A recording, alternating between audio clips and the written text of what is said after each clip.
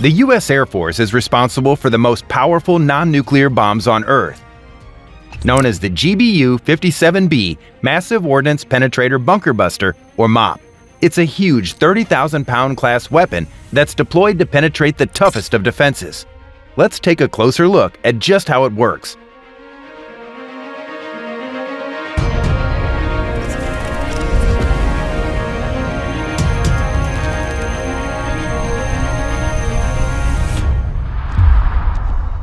The MOP is the most powerful and deeply burrowing non-nuclear bunker buster bomb on the planet and is massively important for destroying highly fortified targets buried under mountains, like those found in Iran, Russia, China, and North Korea.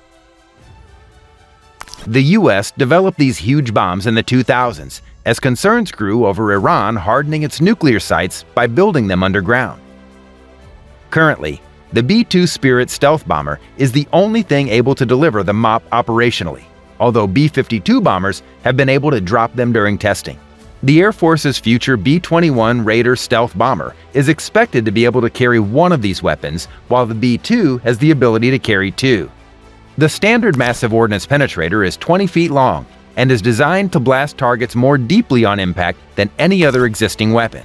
Following this, it then detonates its 3-ton explosives payload, this includes around 4,590 pounds of AFX 757 and about 752 pounds of PBXN 114, for a total of around 5,342 pounds of high explosive filler.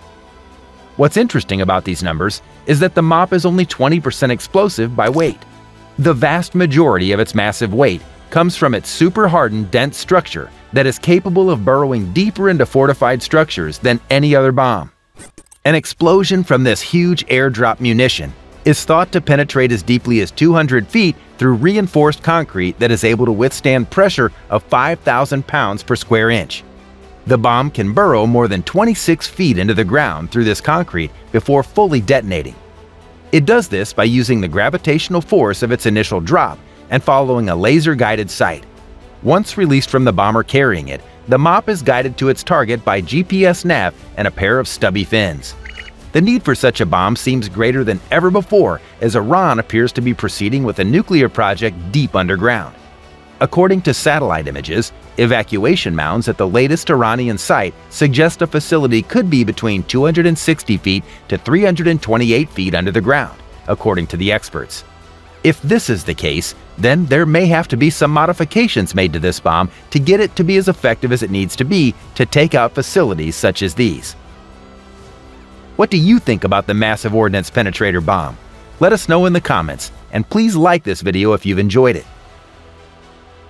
If you want to see more videos like this one, then subscribe to Spotlight for more. Thanks for watching.